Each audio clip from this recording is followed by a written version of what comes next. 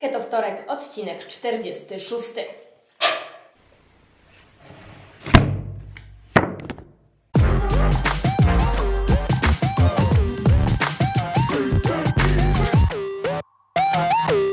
Cześć! Z tej strony ja Anna Salwa, trenerka zdrowia. Dzisiaj zapraszam Was do mojej biblioteczki. E, już e, nieraz pojawiały się pytania o polecenia książek bądź recenzje konkretnych książek.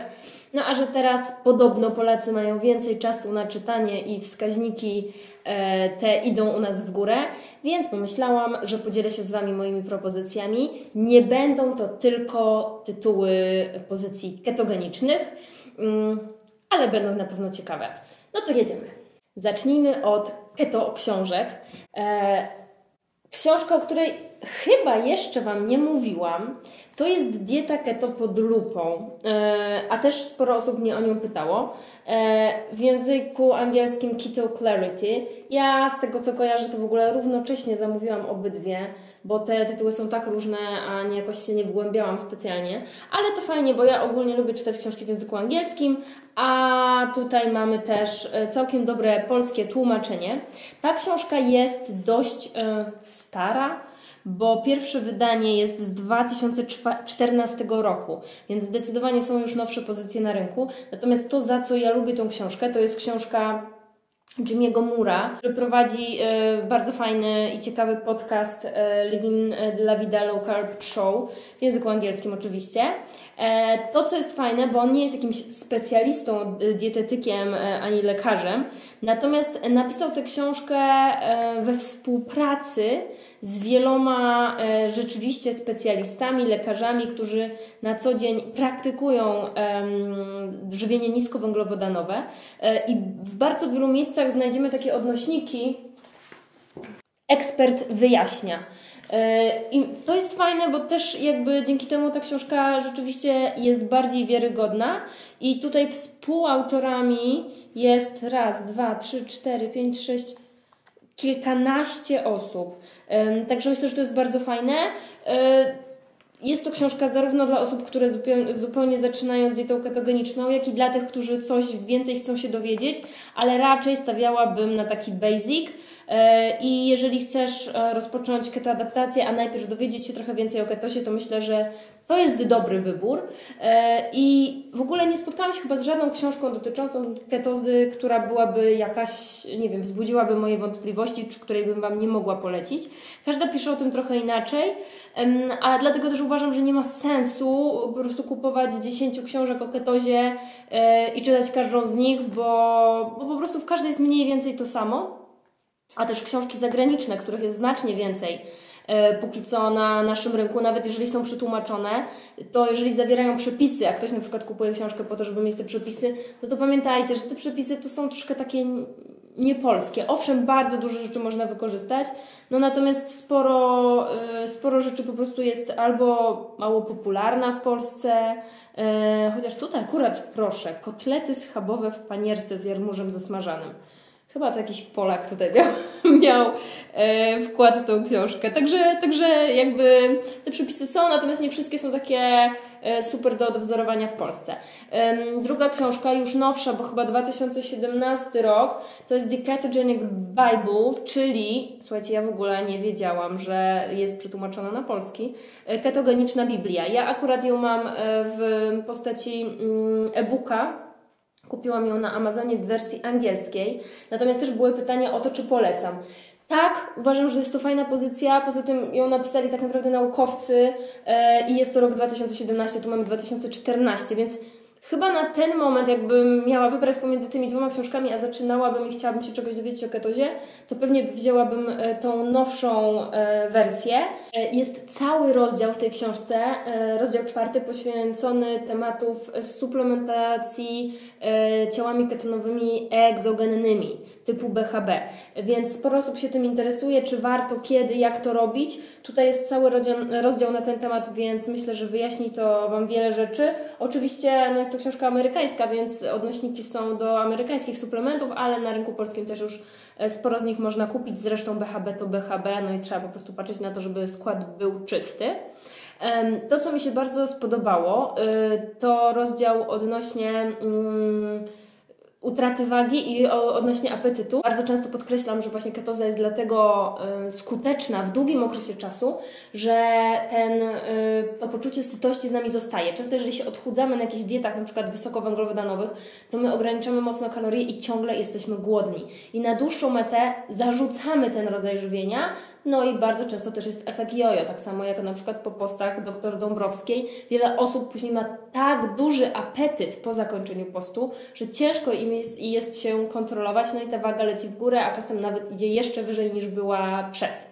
E, natomiast e, na ketozie właśnie poziomy greliny mamy stałe i po prostu ten, e, my jesteśmy syci, nam się nie chce jeść i to jest dużo łatwiejsze do ogarnięcia, jeżeli po prostu możemy w ten sposób się długoterminowo odżywiać.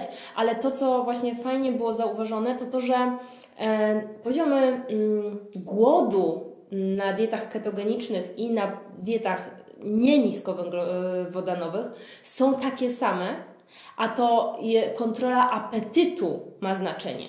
Czyli jeżeli na przykład ty mm, w ogóle nie czujesz głodu, to prawdopodobnie coś hormonalnie niekoniecznie się zgadza. Natomiast prawdą jest, że nasz apetyt, czyli ta ochota na jedzenie, wtedy kiedy nawet nie, nie, jesteśmy głodni, bo dopiero co coś zjedliśmy, ale akurat leży ciastko i nas kusi, to właśnie ten apetyt często rozwala wszystkie próby odchudzania, więc ten apetyt nam, e, nam się redukuje i się uspokaja, przede wszystkim dlatego, że mamy stały poziom glukozy. E, stały poziom glukozy również pomiędzy posiłkami. Jeżeli jesteśmy na high carbie, mm, to ten, ta, ten cukier nam spada. Robi się, niektórzy mówią, tak zwana hipka, tak? Czyli wpadamy, możemy wpaść w hipoglikemię, a jeżeli, i wtedy jesteśmy głodni. Wtedy mamy obniżone e, zdolności kognitywne, jesteśmy senni, i znowu musimy coś zjeść. Na ketozie ten poziom glukozy jest praktycznie stały, nie ma tych spadków. Nie jest ona też wysoko, ale właśnie nie ma spadków i dzięki temu stabilnemu poziomowi glukozy e, właśnie ten apetyt jest zdecydowanie lepiej kontrolowany. No i oczywiście to, o czym ja mówię, grelina, leptyna, czyli hormony głodu i sytości również są uregulowane i to e, jest duży plus. E, jeśli chodzi o e, stricte ketozę, to te dwie pozycje Wam polecam, e, bo to są książki, o których jeszcze nie mówiłam. Natomiast e, jeszcze zostańmy przy e, zdrowiu, żywieniu i tak dalej. O tym chyba już Wam wspominałam. To nie jest, to jest sprzed kilku lat książka Pauliny i Emilii, dwóch dietetyk klinicznych, które mam przyjemność znać. Rozszyfruj swoją krew, praktyczny poradnik dla każdego. Z tego co wiem, to ja mam chyba najbardziej obszerną wersję, są też cieńsze, no bo ta książka to można by powiedzieć, że jest kobyła, prawie 800 stron i ja naprawdę dziewczyny szanuję. Ja nie wiem, kiedy one znalazły czas, żeby to wszystko przeanalizować i napisać. Sama często sięgam do tej książki, jeżeli mam jakieś przypadki podopiecznych i chcę się w pewnych rzeczach upewnić, bo to nie jest tak, że dietetyk ani lekarz po prostu pamięta wszystko i my też sięgamy do literatury. E, ale oprócz tego, że są tutaj e, informacje szczególnie o tym, jak czytać wyniki morfologii, jak e, czytać wyniki e, naszej tarczycy. Jest pięknie rozpisany lipidogram, który jak pewnie wiecie, dużo bzdur krąży po literaturze, jeśli chodzi o lipidogram. Więc oprócz tego mamy też praktyczne wskazówki, co zrobić, jak poprawić, jak się odżywiać, taka dietoterapia w pełnym tego słowa znaczeniu. Są fajne rysunki, które pozwalają nam lepiej te tematy zrozumieć.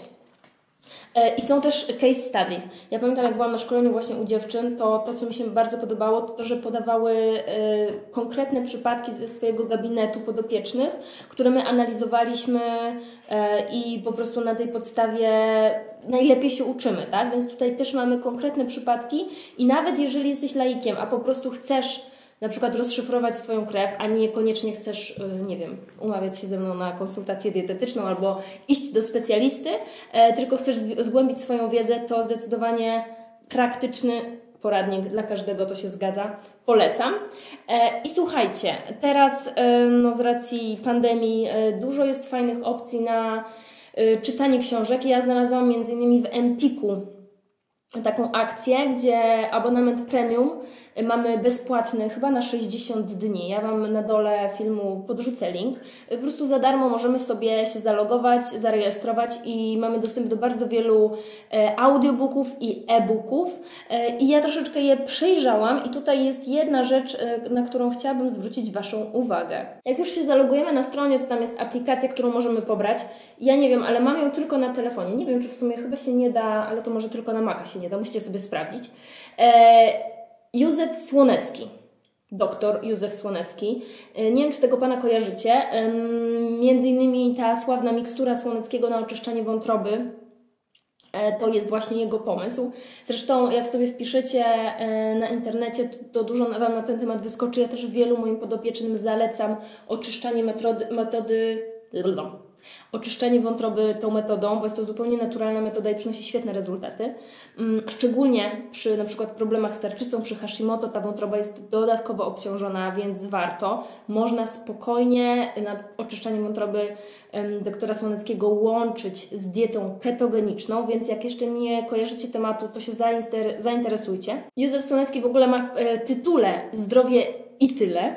E, jedynym znanym lekarstwem na wszelkie choroby jest zdrowie. No, jakże prosty cytat jakże prawdziwy. E, nie ze wszystkim może się tak w 100% zgadzam. Ja tą książkę na, zgadzam. Ja tą książkę na razie tak przejrzałam, ale e, na przykład jest tutaj e, o pięciu posiłkach dziennie ogólne zasady jedzenia. No ale oczywiście jakby pamiętajcie, nie patrzmy na to przez pryzmat ketozy bo zazwyczaj jak jesteśmy na high carbie, to jednak te pięć posiłków dziennie bardzo często y, no, trzeba jeść, bo po prostu się jest głodnym.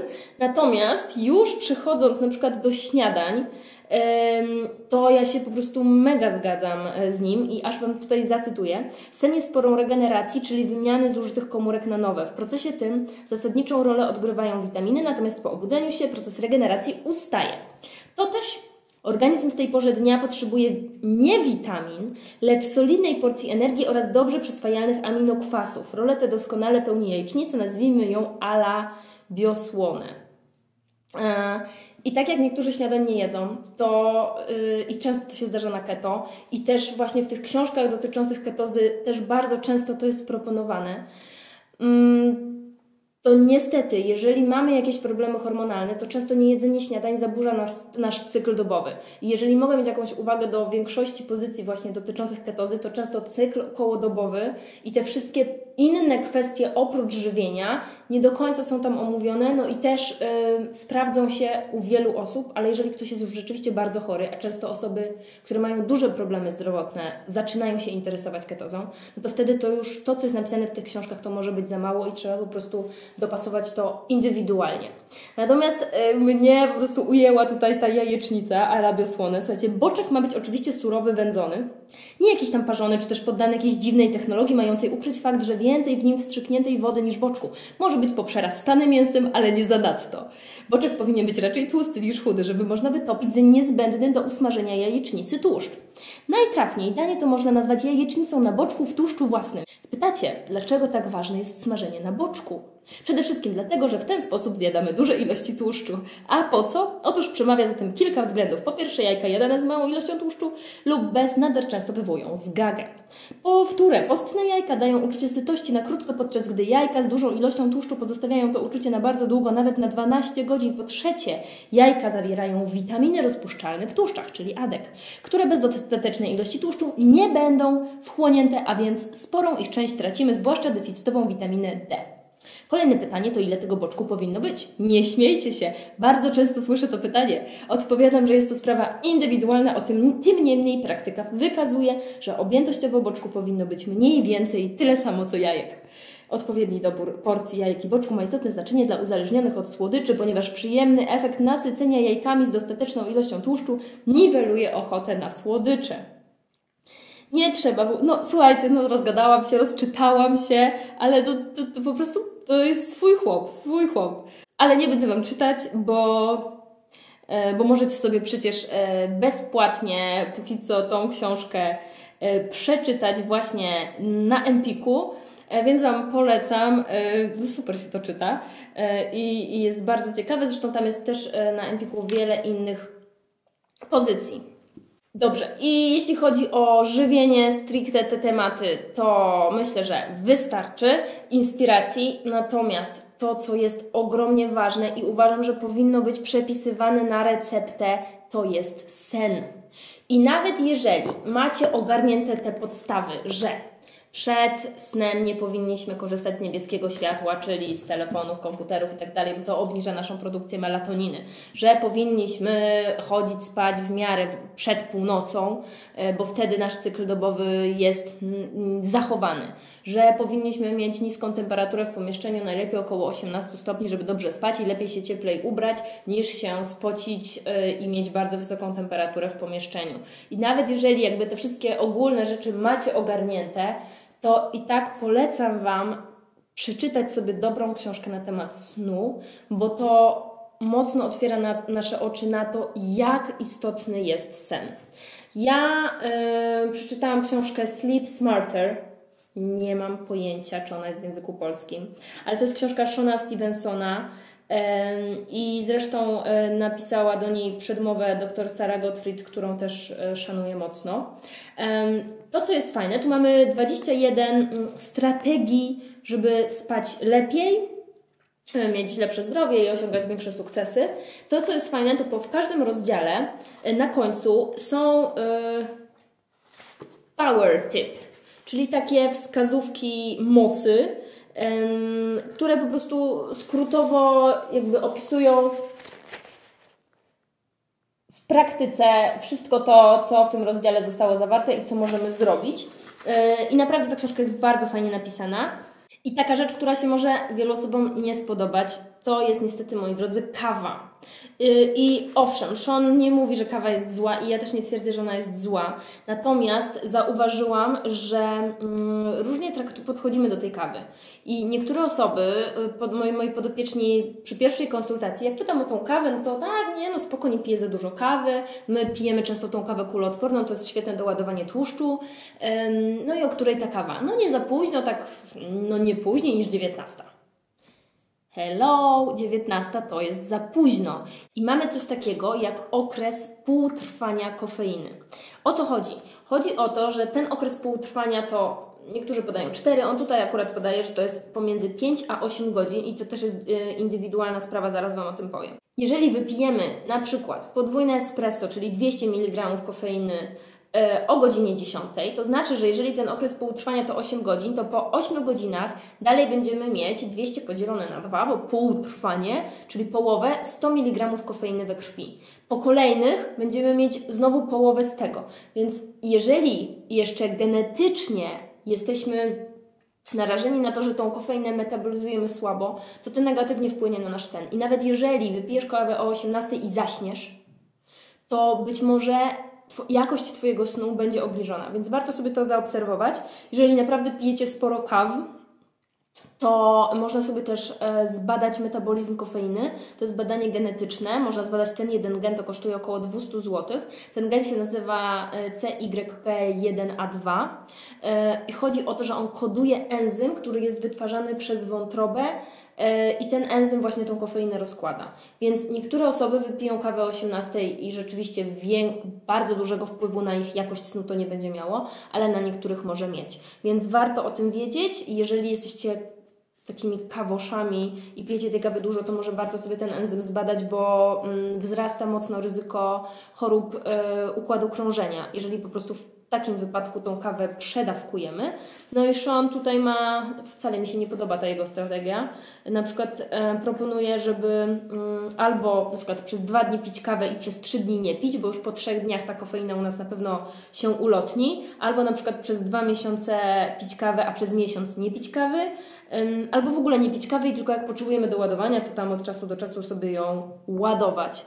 No jeżeli ktoś kawę kuloodporną traktuje jako posiłek, no to Łatwo nie będzie. Ja kiedyś sobie zrobiłam taki dwutygodniowy detoks od kawy. Natomiast po prostu warto ją przynajmniej pić nie wieczorem, tylko tak w godzinach dopołudniowych raczej. I druga pozycja w języku polskim, dlaczego śpimy, e, doktora Matthew Walkera. Słuchajcie, to jest w ogóle naukowiec, który się zajmuje badaniem mózgu, e, jest psychologiem e, i z profesorem psychiatrii na Uniwersytecie Harvarda. I on tutaj pisze, że w ogóle jeżeli śpisz mniej niż 7 godzin, to znacznie, nie pamiętam już o ile procent, ale wzrasta Twoje ryzyko Alzheimera, że y, wzrasta ryzyko nowotworów i w ogóle po prostu no, pokazuje, jego perspektywa jest taka, że jeżeli tego snu nie ma, to w ogóle skracamy sobie życie. Im krócej śpisz, tym masz krótsze życie. Wręcz taki jest cytat gdzieś. Są e, źródła, które ja widziałam na internecie, bo właśnie też o tym słyszałam, które e, te jego różne tezy obalają, bo czasem pewne eksperymenty on rzeczywiście robi i ma pewne badania zrobione i to pokazuje, ale czasem pewne rzeczy, które jeszcze nie zostały potwierdzone naukowo, traktuje jako pewnik. Według mnie ta pozycja jest bardzo wartościowa i nadal ją Wam polecam, ale troszkę pewne rzeczy są przesadzone. E, chociaż czasem może warto bardziej przesadzać w jedną stronę i dbać o ten sen swój jeszcze bardziej niż nie dbać o niego w ogóle. E, ale dlaczego Wam o tym mówię? Ponieważ w ogóle jak czytacie jakąkolwiek pozycję, to pamiętajcie, że każdy może napisać książkę i każdy może się mylić. I też trzeba jakby to na to, popatrzeć na to logicznie, rozsądnie i zastanowić się, czy rzeczywiście to ma sens. Nie zawsze jest to łatwe, no bo czytamy eksperta, no ale chodzi o to, że właśnie jest bardzo wiele mm, różnych stron tego samego medalu e, i po prostu nie możemy też tak na wszystko bezkrytycznie patrzeć. Dobra, jedziemy dalej, bo Wy macie czytać książki, a nie mnie oglądać, ale jeszcze Wam e, muszę powiedzieć o jednej rzeczy, bo myślę, że teraz bardzo ważne jest to, żeby żebyśmy byli spokojni, żebyśmy nie panikowali. E, jeżeli mamy trochę więcej czasu, to warto pomedytować. A, w ogóle napiszcie, czy Wy macie więcej czasu, bo tak wszyscy mówią, że mają więcej czasu. Chciałabym wiedzieć, co tam u Was w ogóle, czy E, siedzicie w domu, czy nie możecie siedzieć, czy musicie pracować i jak to w ogóle cała ta sytuacja na Was wpłynęła. Jak się możecie podzielić, to się podzielcie. E, no to tak jest fajnie, żebyśmy się tak wymieniali doświadczeniem i chociaż w ten sposób bezpieczny póki co rozmawiali ze sobą. Natomiast w nawiązaniu do medytacji mm, i do bycia tu i teraz polecam Wam, to nie jest nowa książka. Może już ją czytaliście. Eckhart Tolle Potęga teraźniejszości. To jest książka w ogóle, pierwsze wydanie 1999. E, to jest akurat 2004-2010 ta wersja. E, natomiast bardzo Wam polecam. W ogóle to jest gość, który jest przewodnikiem duchowym, ale nie jest związany z żadną religią. Ja osobiście jestem e, katoliczką, jestem osobą wierzącą i nie przeszkadza mi to, w jaki sposób on pisze. Pisze tu nawet o Chrystusie, pisze o różnych wierzeniach, bo jakby jest ponad wierzeniami, tak? Natomiast mi to zupełnie nie przeszkadza e, i myślę, że naprawdę warto poczytać tą książkę, bo ona jest takim trochę wstępem do tego, jak medytować i właśnie o tym, żeby być tu i teraz, że tylko jakby jesteśmy w teraźniejszości i jest tylko teraz, nie ma przeszłości, nie ma przyszłości. Dla niektórych osób e, może się to wydać abstrakcyjne, ale naprawdę warto sobie taką książkę przeczytać. Nie móc przestać myśleć to straszliwa przypadłość. Słuchajcie, ja jak pracuję z moimi podopiecznymi dietetycznie, to takie rzeczy jak sen i takie rzeczy jak zarządzanie stresem również omawiamy, bo bardzo często przyczyną chorób może być samym triggerem, może być po prostu jakaś bardzo stresująca sytuacja w naszym życiu i zdrowie to również odpowiednie zarządzanie stresem. Dlatego tak ważna jest medytacja, tak ważne jest bycie tu i teraz i właśnie czasem wyłączenie myślenia. To jest mega trudne nie myśleć ale właśnie na tego uczy nas medytacja i o tym fantastycznie pisze właśnie Tol w swojej książce. I pisze też o tym, że my tak naprawdę wszystko, wszystkie zasoby, wszystko to, czego potrzebujemy, już mamy, tylko musimy to odkryć. I tutaj jest taka fajna przypowieść. Pewien żebrak od ponad 30 lat siedział przy drodze, aż tu któregoś dnia nadszedł jakiś nieznajomy. Ma pan trochę drobnych? wymemrotał żebrak, machinalnie wyciągając rękę, w której trzymał starą czapkę do baseballu. Nie mam niczego, co mógłbym ci dać, odparł przechodzień, a po chwili spytał: Ale na czym ty właściwie siedzisz? Och, to tylko stara skrzynka, odpowiedział żebrak. Siedzę na niej odkąd pamiętam. A zajrzałeś kiedyś do środka? Zapytał nieznajomy. Nie, odrzekł żebrak. Po co miałbym zaglądać? Tam nic nie ma. Może jednak zajrzyj, powiedział przechodzień. Żebrak zdołał podważyć wieko. Ze zdumieniem, niedowierzaniem i uniesieniem stwierdził, że skrzynka jest pełna złota. No i właśnie o to chodzi, że y, Tol mówi, że właśnie ta książka ma na celu nie nauczenie nas nie wiadomo czego, ale pokazanie nam, y, jak możemy korzystać z tego, co już mamy, bo jest, mamy wszystko to, czego potrzebujemy. Mm, ja na przykład taką potęgę teraźniejszości odczuwam naj, chyba najbardziej podczas morsowania, podczas wchodzenia do mojej zamrażarki, bo teraz już pogoda taka i, i warunki, że raczej niekoniecznie otwarte akweny. Więc mam tą zamrażarkę, może widzieliście mój vlog, e, do której wchodzę i ja właśnie tam najlepiej medytuję i najlepiej jestem w stanie się skupić na byciu tu i teraz i jest to wbrew pozorom dla mnie po prostu najłatwiejsze. Natomiast jeśli macie dzieci, to chciałam Wam powiedzieć, że e, starsze dzieci, to polecam Wam e, książki Michała Zawadki, którego znam i szanuję i ma rewelacyjnie książki dotyczące rozwoju osobistego dzieci, więc to tak trochę off topic, ale niekoniecznie. Chcę być kimś. To jest numer jeden, tam gdzieś jeszcze na półkach jest numer dwa, numer trzy.